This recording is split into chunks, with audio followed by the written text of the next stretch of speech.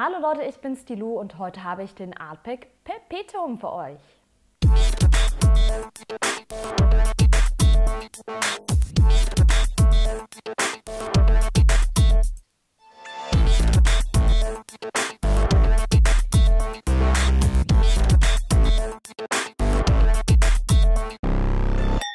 Wie ihr seht, geht es endlich mal wieder auf die Insel Isla und äh, mal wieder zu Artback.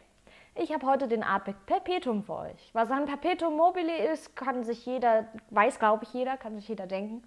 Ähm, der Name ist ganz passend gewählt, denn beim Artback Perpetuum wurden junge und alte Destillate bei Artback miteinander verheiratet, gewettet.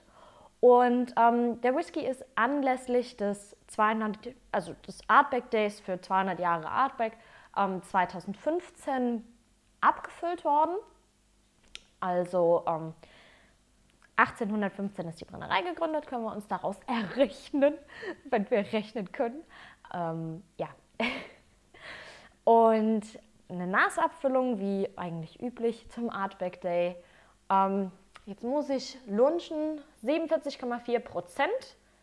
Ähm, ich verlinke euch äh, genau diese Abfüllung mit dem Bottlecode ähm, unten in der Infobox. Da könnt ihr in der Whisky Base nachgucken kostet so zwischen 100 bis 200 Euro, ist immer, finde ich, schwer preislich äh, zu betiteln, weil einfach diese Artback Day Sonderabfüllungen total, ja, eigentlich total gehypt werden und äh, ausverkauft sind, bevor sie verkauft werden. Ne? Das ist äh, wie der Versuch, Wacken-Tickets zu bekommen. In letzter Zeit irgendwie unmöglich. Und äh, ja, ich will dann lieber entspannt den Whisky mal auf der Messe probieren und mich dann ärgern, dass ich keine Flasche habe, wenn er gut schmeckt oder so. Ähm, ich habe aus der Reihe bisher den Supernova probiert auch und noch einen. Aber ich weiß nicht mehr welchen. Es gab noch irgend, irgendeinen, den ich da probiert habe. Der Supernova war mir persönlich viel zu heftig. Ich glaube, da kommt äh, nächstes Jahr zum Artback Day, dieses Jahr zum Artback Day. Irgendwann zum nächsten Artback Day kommt äh, wieder eine Variante des Supernovas raus. Ich bin gespannt. Aber jetzt haben wir erstmal den Perpetuum, eins nach dem anderen. Typisch blass für Artback.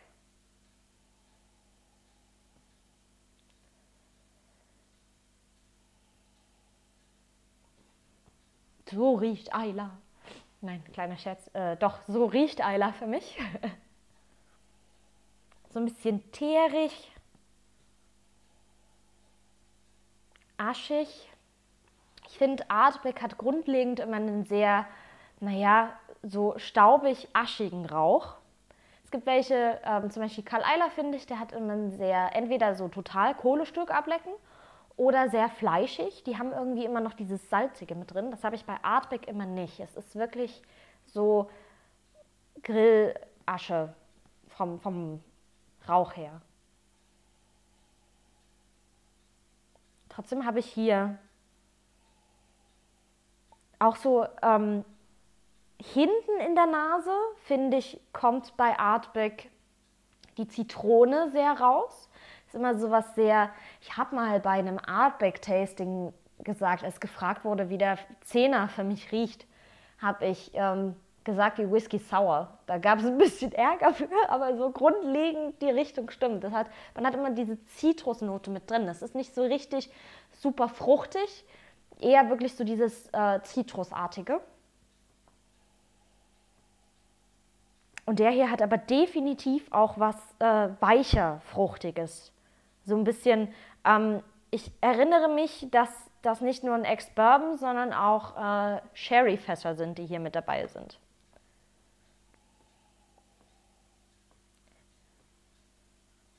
Findet ihr das äh, dramatisch? Also wir sagen ja immer Ex-Bourbon Cask und dann sagen wir einfach nur Sherry Cask. Richtig korrekt wäre es ja, wenn es ein Ex-Sherry Cask, wenn man das immer so sagen würde. Ähm, mir ist das jetzt öfter aufgefallen, dass ich auch durchaus auf der Messe schon, als ich am Stand war, gefragt wurde, ähm, oder auch in Brennereien direkt in Schottland, ja, ähm, haben Sie auch Sherry? Weil es steht ja überall immer Sherry fast drauf. Ist das überhaupt ein Whisky oder ist das ein Sherry? Stört euch das, wenn das ungenau gesagt wird? Also mich stört es nicht. Aber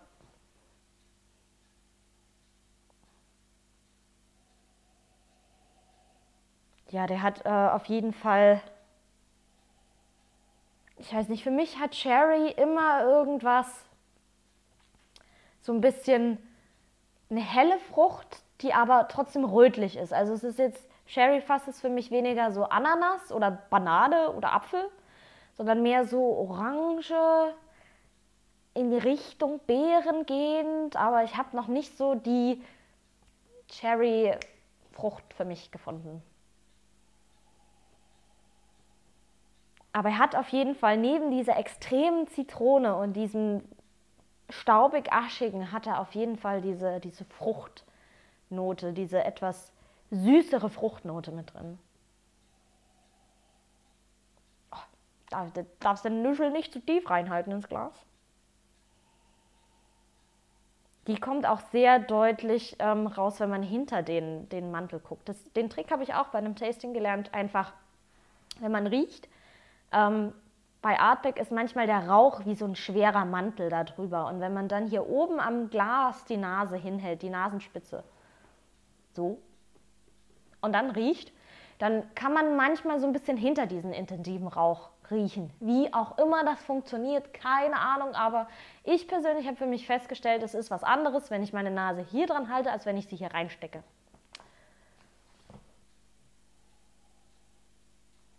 Dann probieren wir mal.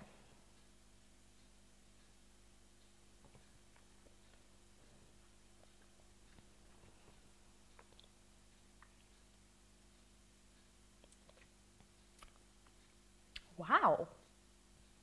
Ich war gerade kurz von der, ähm, von der Fleischigkeit überrascht. Also trotzdem aschig der Rauch, aber er hat auch was unglaublich würzig herzhaftes. Also ich kann es eigentlich nur als ominöses Umami beschreiben. Es ist so dieses ähm, es, es ist nicht nur Asche, es hat auch, ich kann es auch nur als fleischig beschreiben, herzhaft, irgendwas. Es ist kein bestimmtes Gewürz, es ist nicht so, dass ich sage oh, Pfeffer oder Salz oder was auch immer. Es ist so dieses einfach, es ist, Asche ist so ein recht flacher Geschmack, recht eindeutig, aber hier ist irgendwie noch, da ist noch was drunter. Auf jeden Fall, also wow, das hat mich gerade so ein bisschen umgehauen und so ganz leicht äh, tut hier und da mal die Süße durchpieksen, so als würde man, ich weiß nicht, bei uns äh, in der Gegend wird viel Gulasch mit Preiselbeeren gegessen. Und das ist so diese Kombination aus herzhaft und süß. Jetzt nicht exakt das, aber bei uns wird halt dann äh, Sahne und Preiselbeeren wird zum Gulasch gereicht, ist einfach so. Und das ergibt diese Kombination aus herzhaft und süß, die ich hier drin jetzt total irgendwie hatte wo die Süße wirklich nur super dezent ist.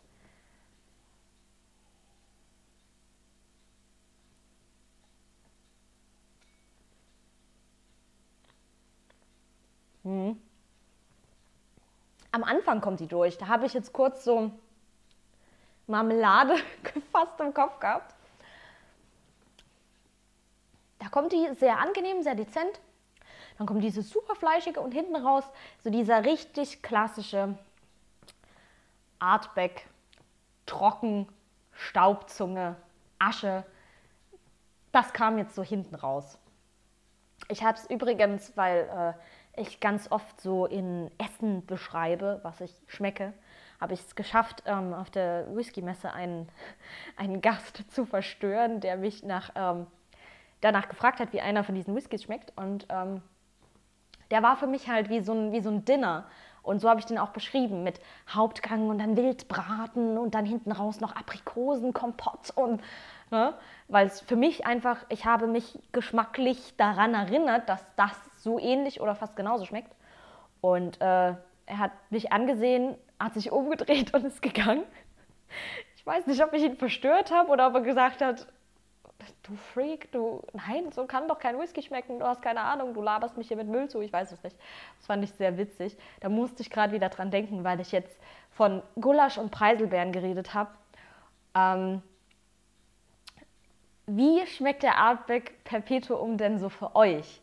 Also, ich würde dem, es ist schwer, geschmacklich ist er eine 7 mit Tendenz nach oben, aber dieses ganze Preisgemache, da muss ich leider mit dem Hammer draufhauen und aus der 7 eine 6 machen. Es tut mir sehr leid, aber mir geht das einfach tierisch auf den Zünder, muss ich mal so ganz ehrlich sagen, dass man eben man hat einfach keine reelle Chance davon, mal was zu probieren und sich dann zu überlegen, schmeckt er mir und sich dann die Flasche zu kaufen. Ich weiß, das ist der Markt, so ist es nun mal, hör auf rumzuheulen, aber es ist ein bisschen schade für denjenigen, der vorher halt gern probieren möchte und nicht einfach nur blind drauf loskauft. Geschmacklich aber ein super Whisky, echt lecker. Persönlich hat er mir auch besser gefallen als der Supernova, der war einfach zu weg. Ne? Das war wie Start von einer Rakete und dann war alles vorbei an dem Tag. Da habe ich nichts mehr geschmeckt. Ähm, sehr angenehm, schöner, schöner Trinkwhisky, schöne Facette auch von Artback, ähm, schöne Ergänzung, finde ich. Ich überlege gerade, der Cory Bracken ist offen. Ich kann den ja mal vergleichen mit dem anderen Artback. Ähm, was ich aber vorhin eigentlich fragen wollte, ob ihr auch so verrückte Verkostungsnotizen macht für euch, ob ihr die nur im Kopf habt, ob ihr mit Freunden darüber redet. Ähm, wie läuft es bei euch ab, so geschmacklich? Ist es für euch nur lecker oder nicht lecker? Ist es für euch eher, ja, und dann haben wir diese Noten und jene? Oder wie ist das für euch? Also für mich ist es halt ganz oft einfach Essen und Erinnerungen oder ne, das riecht wie bei meiner Oma zu Hause oder solche Sachen. Ähm, ich arbeite da sehr viel mit Erinnerungen einfach und äh, mir persönlich macht das Spaß. Korivrekon, da habe ich, glaube ich, auch schon mal ein Video zu gemacht. Guckt einfach mal in die Artback-Playlist, dann könnt ihr sehen, was ich alles schon ähm, für euch verkostet habe.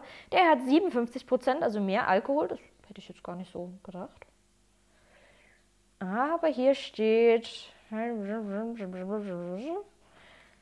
leider nicht drauf, aber gefärbt ist. ist das niedlich? Ähm, hier ist ein Bild drauf, so ein kleines, ich weiß gar nicht, Piktogramm, ob man das sehen kann, dass man nicht schwimmen soll, nachdem man getrunken hat. Das finde ich sehr witzig, weil auf dem Cory Bracken, der Cory Bracken ist ja ein Meeresstrudel. Äh, ja, finde ich sehr witzig. Farblich sieht man hier auf jeden Fall schon mal so einen Unterschied. Ja, das ist der Perpetuum, das ist der Cory Bracken. Ich weiß, wie gesagt, nicht, ob er gefärbt ist.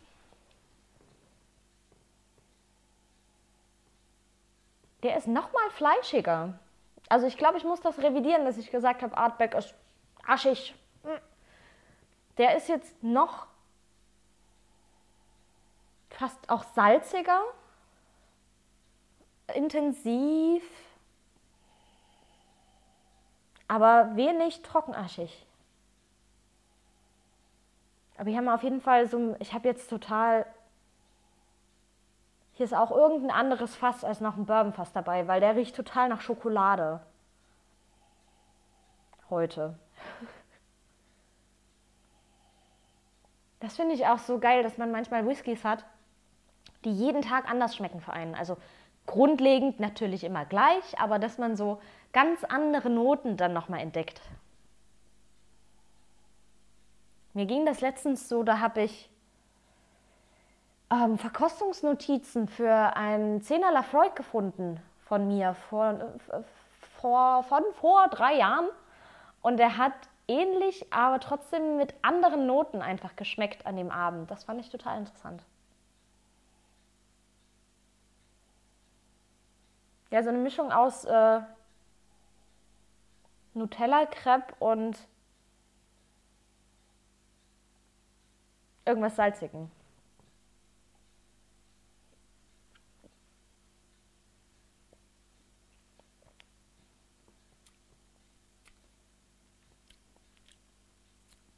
Was ist das?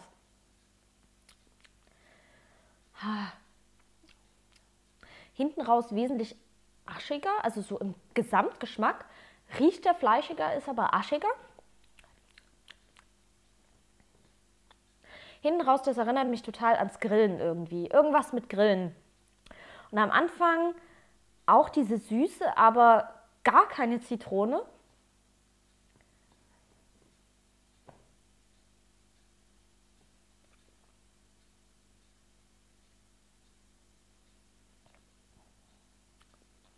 Wirklich eher Kakao, heiße Schokolade und hinten raus so Grillfackel so ein bisschen. Und der Perpetuum im Vergleich dazu.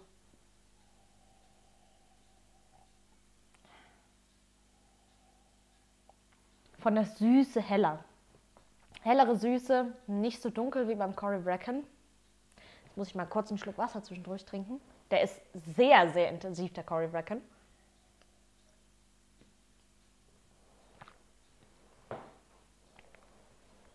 Der ist wirklich, boah, der verteilt sich im ganzen Mund und krallt sich richtig fest an deinen Geschmacksknospen.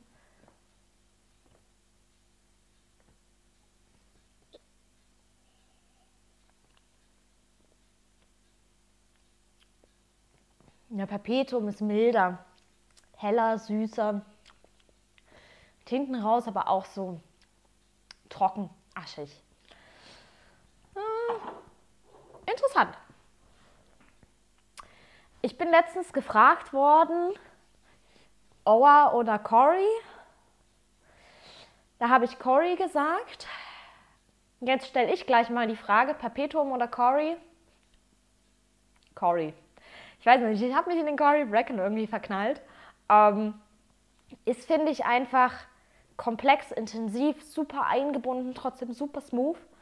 Der Perpetuum, toller Trinkwhisky, schöne Facette, aber einfach zu hell von der Frucht her für mich im Moment. Stehe ich ja sowieso auf dieses dunkel, schoki, Rauch Gemisch. Ähm, ja, und einfach wirklich grundlegend ein bisschen zu teuer für meinen Geschmack, finde ich schade. Ähm, und mich würde auch durchaus mal so eine Altersspanne interessieren, weil junges und altes Destillat kann ja alles Mögliche bedeuten. Ähm, und Nas, generell habe ich kein Problem damit, aber es ist halt einfach immer so interessant, dass einfach, es muss ja nicht fett groß auf der Flasche stehen, aber einfach so als Fun Fact, als, ne, so wie es auf den meisten steht, dann destilliert, dann abgefüllt, pff, reicht mir, ne? So als Information oder könnte so in die Richtung ungefähr Jahre alt sein. Einfach interessanter Nebeneffekt, den ich gern bei vielen Whiskys noch dazu hätte. Ja, das war der Artback Perpetuum im Vergleich auch mit dem Cory Bracken und ich hoffe, euch hat das Video gefallen. Lasst mal einen Kommentar da, wie ihr es fandet und ja, dann bis zum nächsten Video. Slanji! Und damit ihr auch ja keinen Whisky mehr verpasst, abonniert mich auf meinen Social Media Kanälen und schaut nochmal auf meinem Blog vorbei. Da gibt es noch jede Menge mehr Infos zum Thema Whisky für euch. Und bis dahin, Slanjiva!